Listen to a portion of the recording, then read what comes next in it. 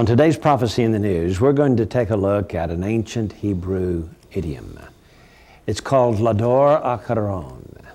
Three people in the Bible used this term Moses, David, and Jesus. Now, we do not have the Hebrew in Matthew 24, but we do have Jesus saying, uh, This generation shall not pass away till all these things be fulfilled. He said this also in Mark 13 30 and in Luke 21 32. We're going to take a look at this, in, at this famous um, saying. We're going to look at the last generation, the Lador Acharon. Gary Stearman is here to discuss this with me. Mm-hmm. Now, J.R., the, uh, the Hebrew uh, phrase, the little Hebrew phrase, Lador Acharon, means to the generation following, as if you, you would write a letter uh, and say to J.R. Church, and then you write your memo or your letter.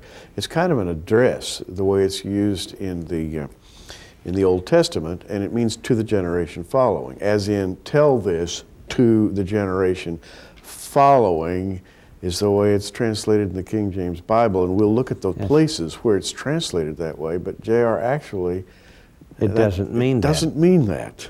The rabbis translated it from Hebrew into English as the last generation. Mm-hmm.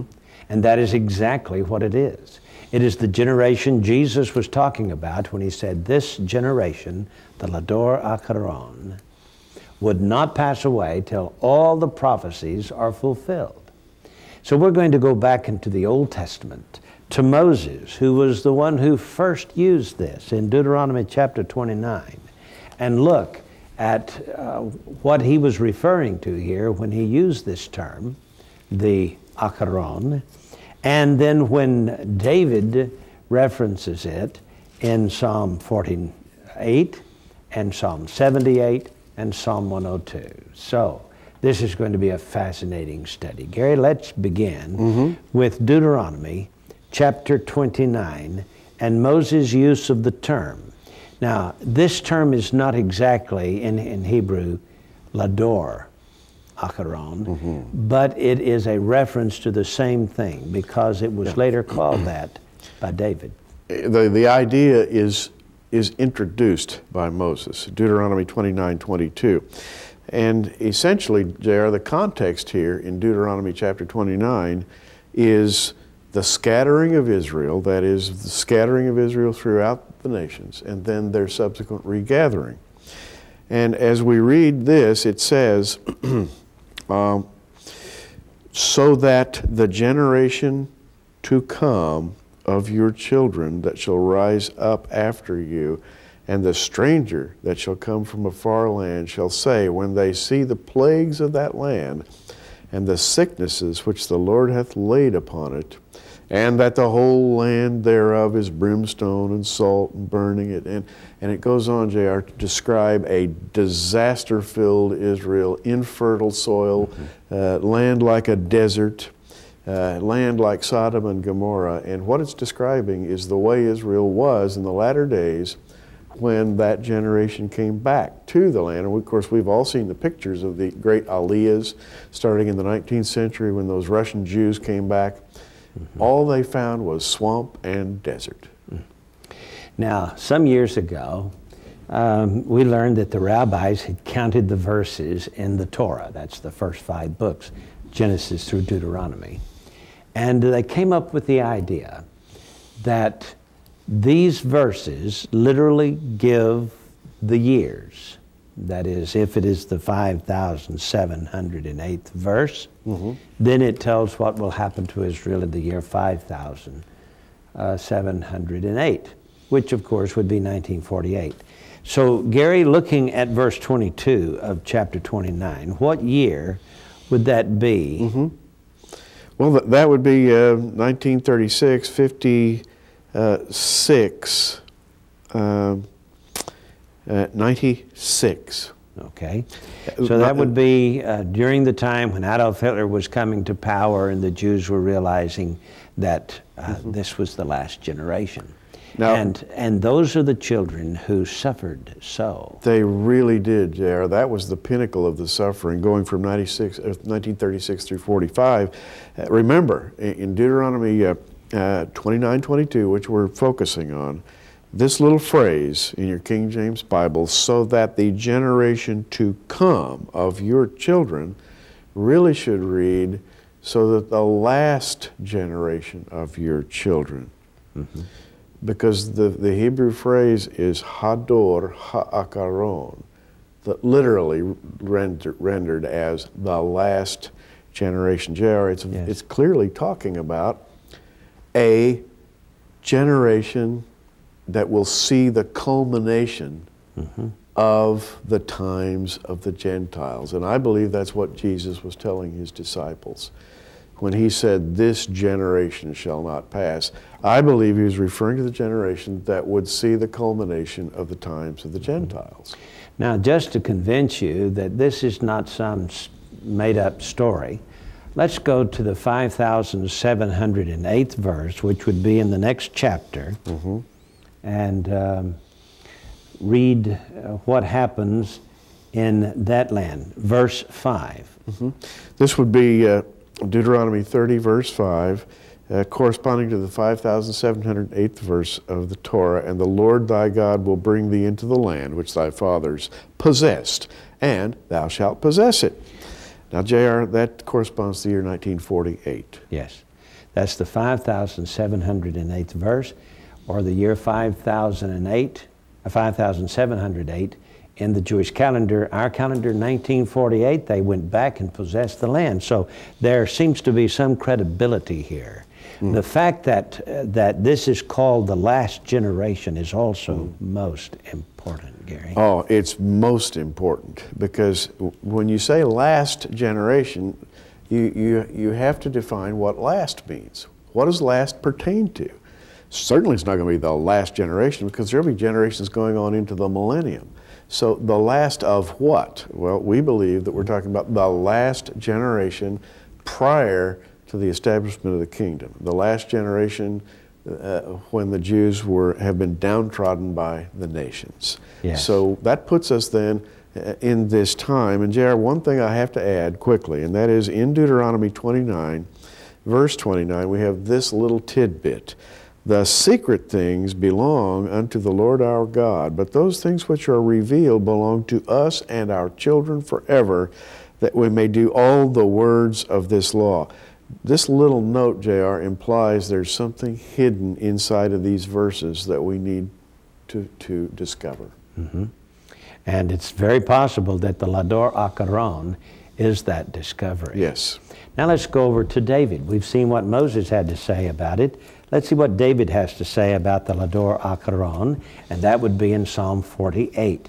Remember, Psalm 48 de- uh, describes the United Nations going, sending a delegation to the Middle East, coming back and recommending that the UN establish the state of Israel.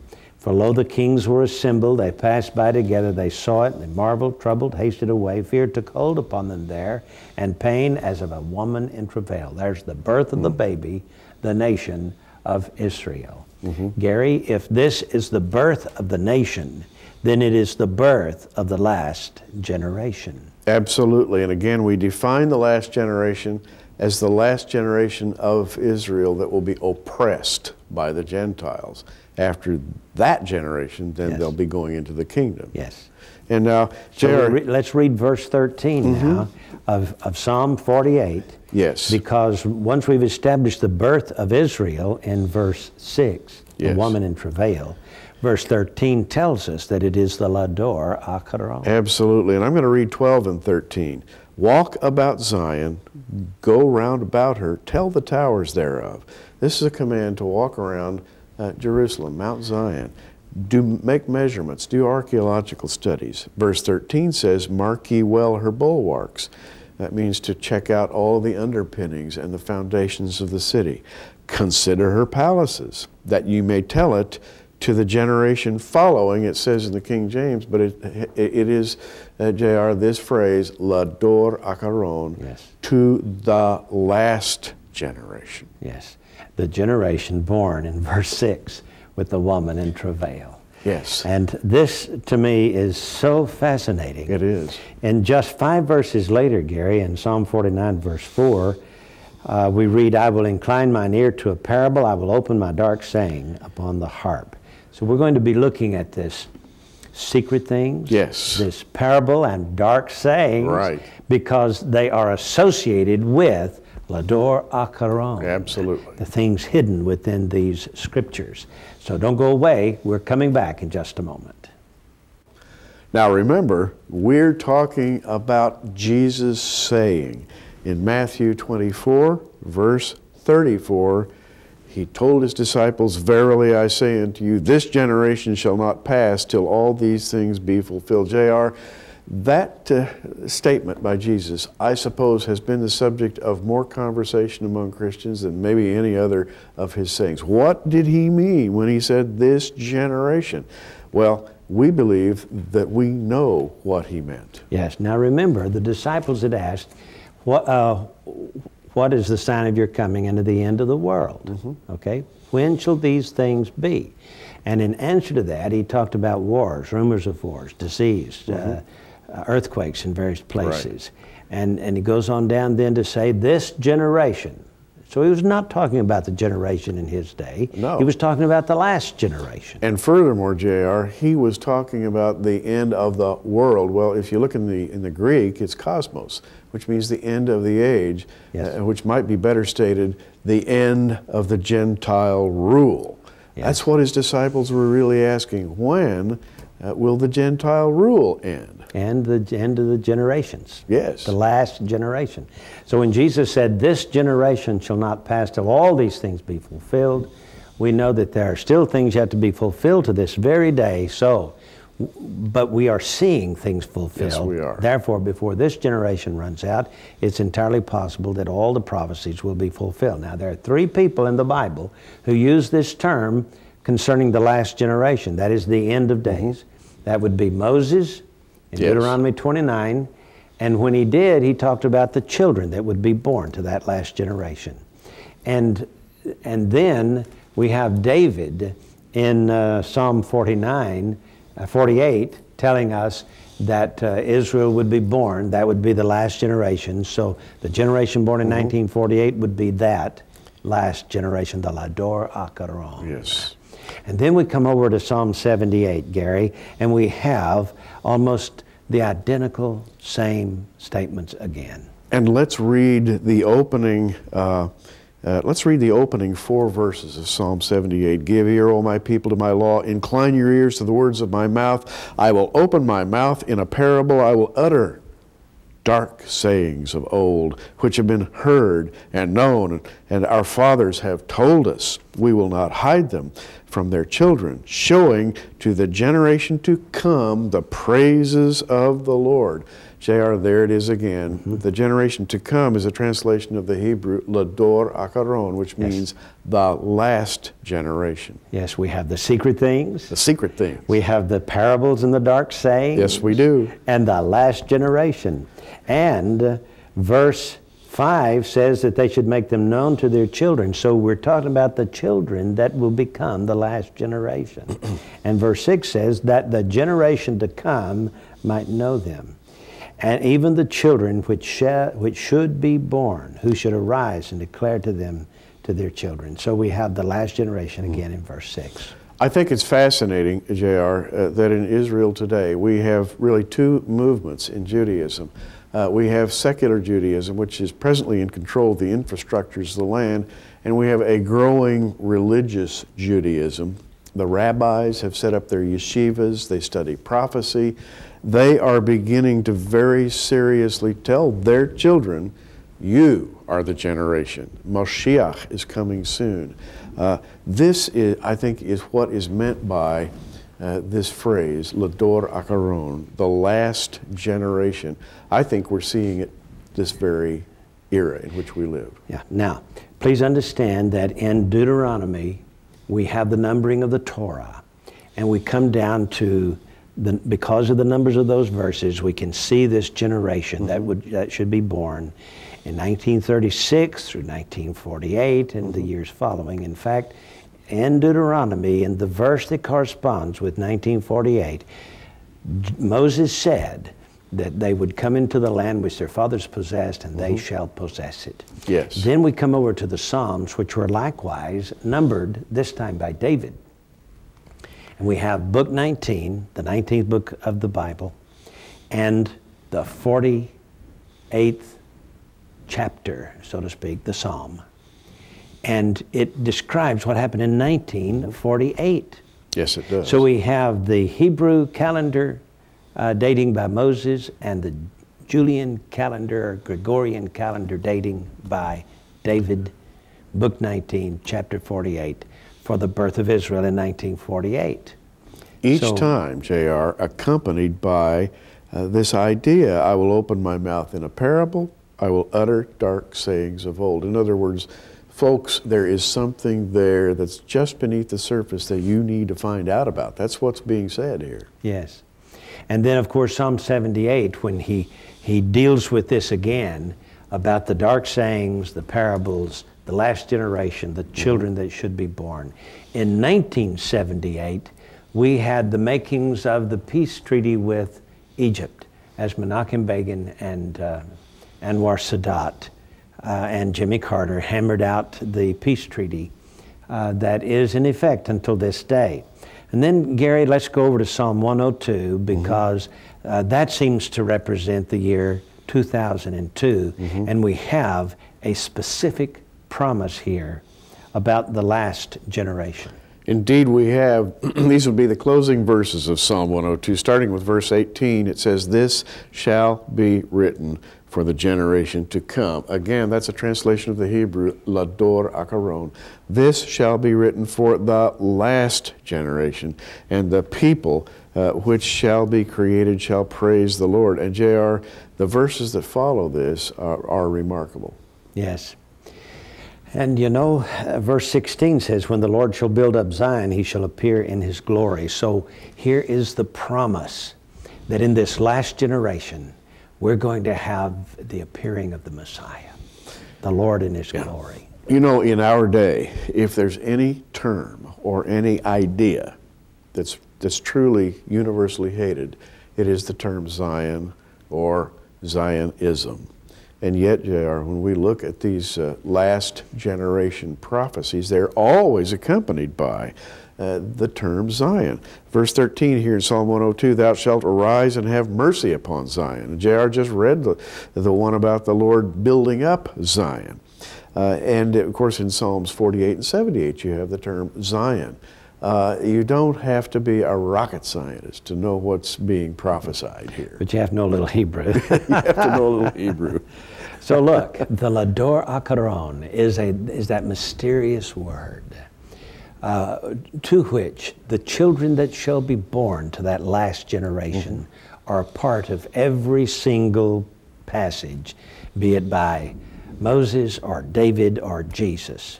And it's kind of interesting that the three most important figures in Israel's history Moses, the great lawgiver, David, the great king, and the Messiah, who will be the greatest lawgiver, judge, king, prophet, priest, king, all combined together, made his final statement that this generation shall not pass away till all these things be fulfilled. That's what's so interesting about this. Now, Moses did some dating, David did some mm-hmm. dating, and Jesus said in those three Gospels that when we come down to this last generation, there would be certain things that would be happening. And he described this last century to a T with the wars and rumors of wars, nation rising against nation, kingdom against kingdom, disease, uh, famine, earthquakes. This is this must be that generation. In fact, I have no doubt, Gary, we have so many proofs through the Bible that we're living in that last generation. When you can prove something uh, two or three different ways and you come up with the same idea, uh, well, that's proof enough. And Jesus' own words, to bring this all back home, uh, included the parable of the fig tree when his branch is yet tender, putteth forth leaves. You know that summer is nigh. Well, J.R., summer is the figure used in the Bible for the, the harvest of the fruit, which of course is a metaphor for the end of the age. And he said, when you see that fig tree, which we have, by the way, the fig tree is Israel, the figs are the princes of Israel. Jeremiah prophesied they'd be replanted. They are. The fig tree's grown up. Uh, and, and, he says, This generation shall not pass till all these things be fulfilled. Mm. So, if you don't know Jesus as your personal Savior, you need to trust Him today. We're living in the last generation. There will be no other chance. Trust Jesus. Ask Him to save you today. We'll be back in just a moment.